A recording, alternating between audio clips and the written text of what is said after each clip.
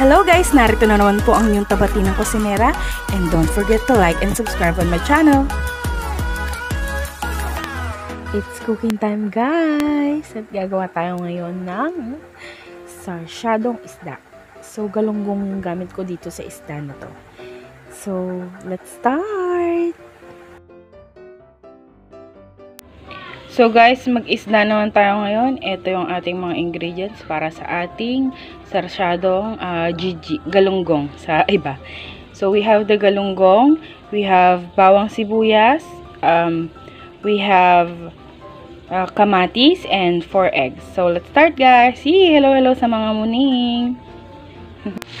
so ayan guys, ang unang gagawin natin is i-frito, i-frito, i-frito natin yung ating galunggong. So, iprito muna natin lahat and then balik ako pag mag-start tayo mag-isa. So, ito guys, itong recipe na to, alam ko hindi na to, ano, hindi na to bago. So, kumbaga parang lahat na lang ng iluluto ko, ah, uh, i-share ko na rin sa inyo. In case na may magkagustong magluto, edi maganda, magustuhan nyo. So, ayan guys, uh, naiprito na natin yung ating mag-focus ka. Ayun. So, naiprito na natin yung ating galunggong and mag-start na tayo mag-isa guys. So, ngayon guys, ayan na, maglalagay na ng ating mantika.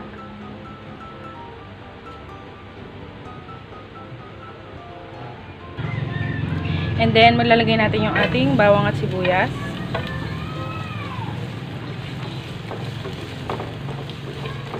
So, ayan, igisa-gisa lang.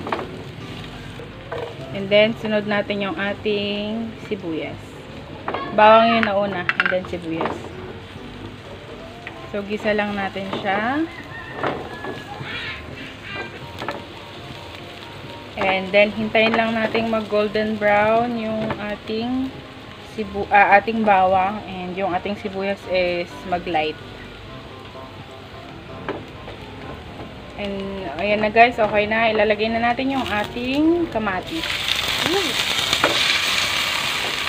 So, igisa lang din natin siya and, ano, yung kumatas-katas siya ng konti. Kailangan din, ano, talaga kailangan malambot. Bago nyo ilagay yung ating itlog. Then, ngayon, ayan na, okay na. Ilalagay na natin yung ating itlog. Ayan.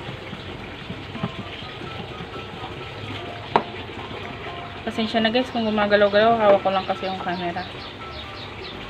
So, ayan. After nyan, ilalagay na natin yung ating uh, galunggong. Napakadali lang nito guys. Sobrang dali.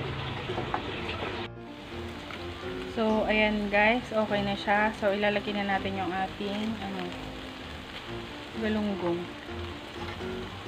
Mag-iwan ka ng ano, gusto, mag-iwan ka ng dalawa para sa ano. Kahit dalawa lang. Gusto mo din. So, ayan. Tapos haluin nyo lang.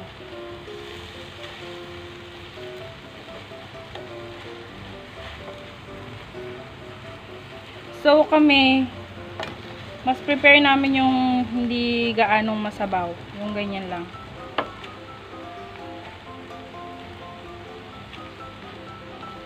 Pero kanina nilagyan namin ng konting tubig nga pala guys. Yung, yung sa may part ng itlog. Nilagyan namin ng konting tubig.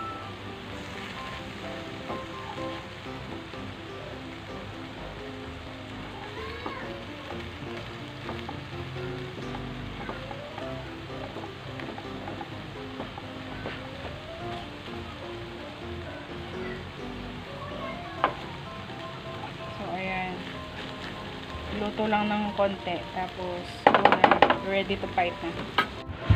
So guys, ito na po yung ating sarsyadong galunggong. So, ayan o. Oh. Ang daming ano, ba?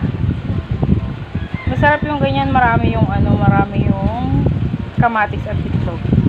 So, ayan na siya. Ayan na siya guys. So, sana magustuhan nyo yung aming recipe. Simple lang yung recipe natin at maraming, alam kong marami ng ano, marami nang may alam din ito at mas masarap pa yung luto ng iba. So, kanya-kanyang preference lang pagdating sa pagluluto, di ba guys? So, ito po yung aming version at napakasimpleng version lang. So, sana magustuhan nyo and thank you, thank you sa mga bagong dating po. Don't forget to like and share and subscribe na rin po kayo. Huwag na niyo pong kakalimutan yung notification bell dyan sa gilid para updated po kayo whenever I uploaded a new video. So, thank you guys. Keep safe everybody. Bye!